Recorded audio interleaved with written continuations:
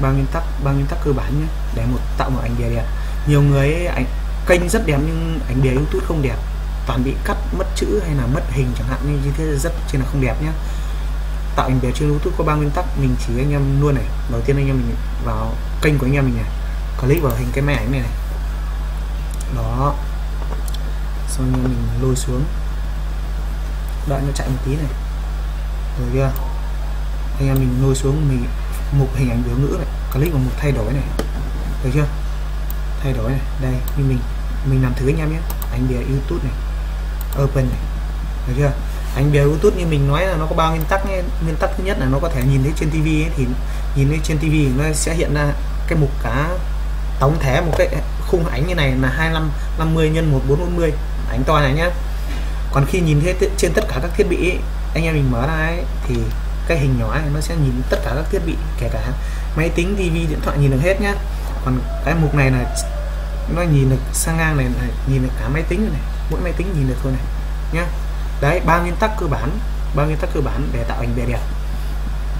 Thì anh em mình muốn tạo ảnh bìa đẹp thì anh em mình nên lên uh, Google tìm cho mình với tên canva.com canva.com được chưa? Đi đến nhé nếu anh em mình nào chưa có tài khoản Canva thì anh em mình có thể tạo tài khoản rất đơn giản, tạo bằng Facebook hay là Google hay là Gmail nhé xong anh em khi tạo xong ấy, anh em tìm một tìm kiếm này, tìm cái tên tạo ảnh bìa YouTube này, hoặc là trang trí kênh YouTube này, nó đều ra này.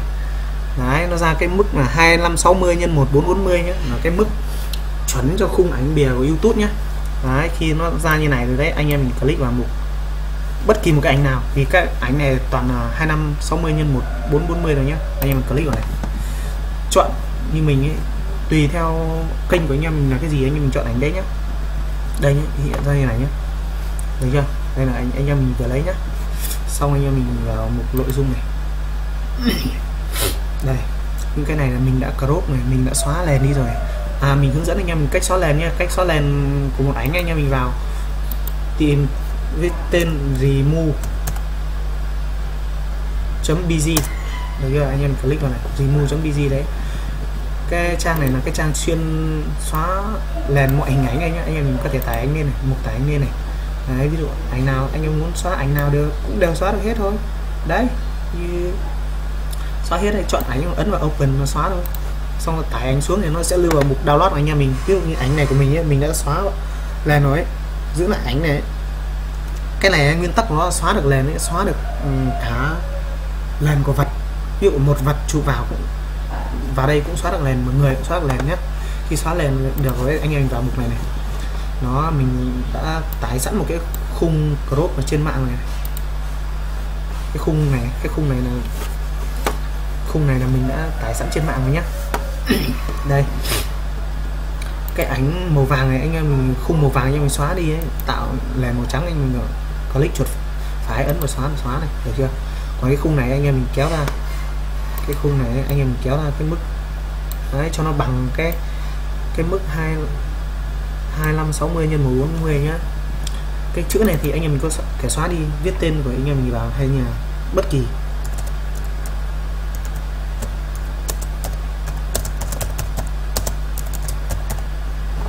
Cái chữ dưới anh em mình có thể xóa đi. Cái chữ dưới này anh em mình có thể xóa đi này. Viết này.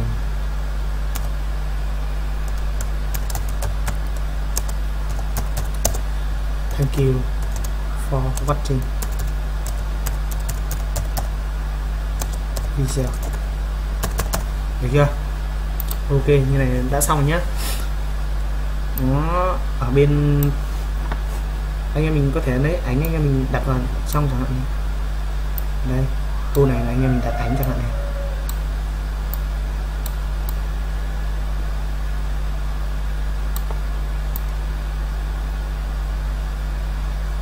Đấy, cân cho nó vừa cái mục này thôi nhé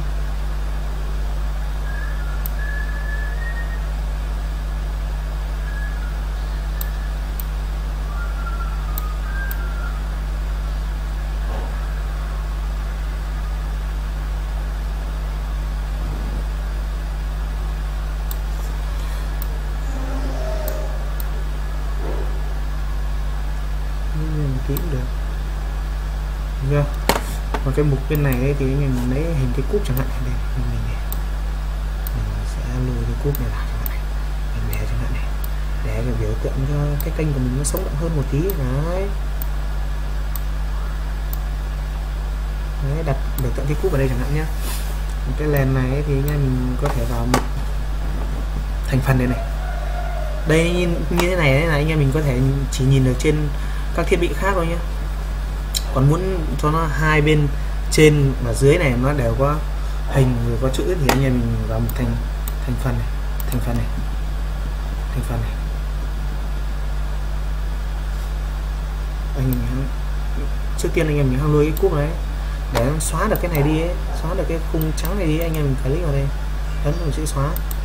Đấy nó sẽ xóa cái khung trắng này đi. Anh mình đặt cái cúp này vào thôi. Đấy thấy chưa? Đấy xóa khung trắng đi.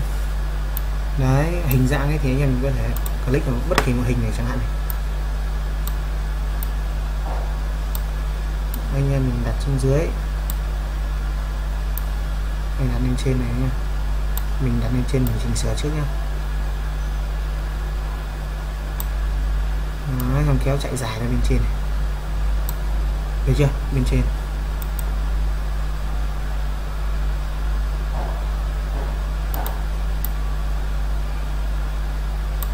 được chưa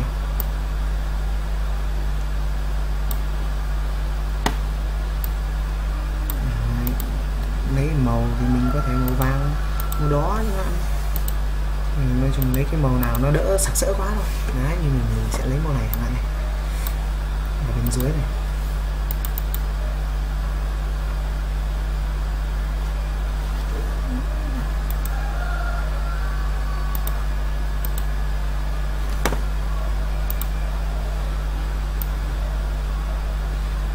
Đấy mình sẽ crop tiếp mình lấy một mình sửa nữa được chưa? Không mình chỉnh sửa lại thôi.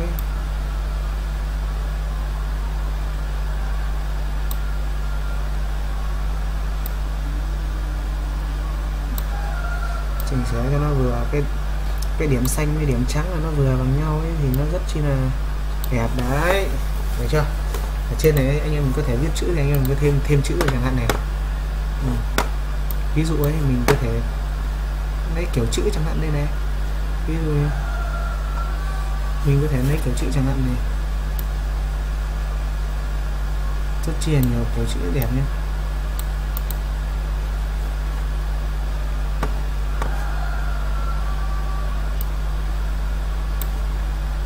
Đây, mình sẽ lôi nó lên trên này nhé. Mình sẽ viết. Ví dụ cho đi mà. Mà. Còn mãi. Ok chưa? Ok chưa?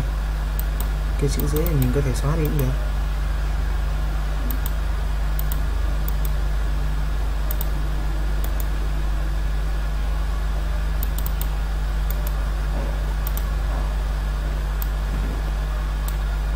Chỉnh kích thước rộng ra này. Cho nó cân vào giữa. Đó, chưa đây mình có thể chỉnh cho nó to lên rộng ra. Được chưa? Rồi. Cái chữ dưới này mình có thể xóa đi này. Rồi được chưa? Đây ở bên dưới mình có thể thêm cái gì chẳng hạn. Ví dụ đây. Cái, dấu ba chấm này chẳng hạn Đấy, bên dưới này. Mình có thể thêm tiêu đề phụ chẳng hạn nhé. Thêm bên dưới chẳng hạn.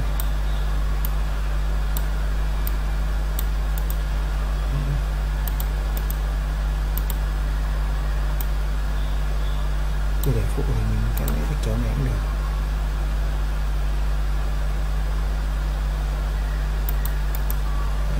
Xóa đi. Tiêu đề phụ thì mình có thể viết cái gì cũng được yêu nhớ đăng ký kênh để ủng hộ mình nhé. Chẳng hạn. Ok, anh em sau khi anh em mình đã tải về trong máy rồi ấy, thì anh em mình vào mục tùy chỉnh kênh youtube này. Thấy chưa? Sau anh em mình vào xuống kênh youtube này anh em vào hình ảnh biểu ngữ này thay đổi này. Thay đổi này. Tìm đến mục cái ảnh mình vừa tải về đâu. Đây. À, cái ảnh mình vừa làm xong ấy. Đúng rồi. Rồi. Cái hình đấy không phải hình này. Hình này.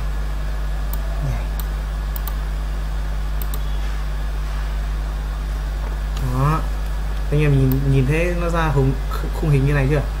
Nhìn thấy trên tivi nhìn thấy trên máy tính và nhìn thấy trên tất cả các thiết bị. Được chưa? Welcome to hành trình ok, rất chi là hay. Anh em ấn vào xong này.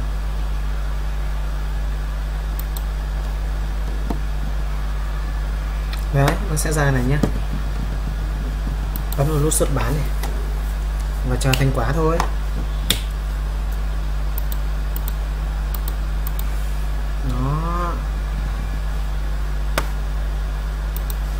Nó đang xuất bán ra rồi đấy. Ví dụ anh em và giờ vào lại kênh của anh em mình xem thử nhé.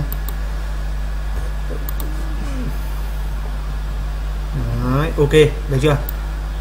Nó sẽ thay đổi này. Rất chi là đẹp. Phải không nói anh em? Như thế là anh em mình đã tạo cho mình được một cái ảnh bìa rất chi là đẹp và bắt mắt rồi đấy. Dành riêng cho YouTube. Đây là một trong những cái thủ thuật rất chi là hay để tạo ảnh bìa cho Facebook nhé. Nên anh em mình thấy hay thì đăng ký kênh và like và follow giúp mình để mình có nhiều động lực ra video hay nữa nhé. Cảm ơn anh em đã theo dõi clip. Xin chào và hẹn gặp lại anh em ở clip sau. Bye bye. Chào tạm biệt.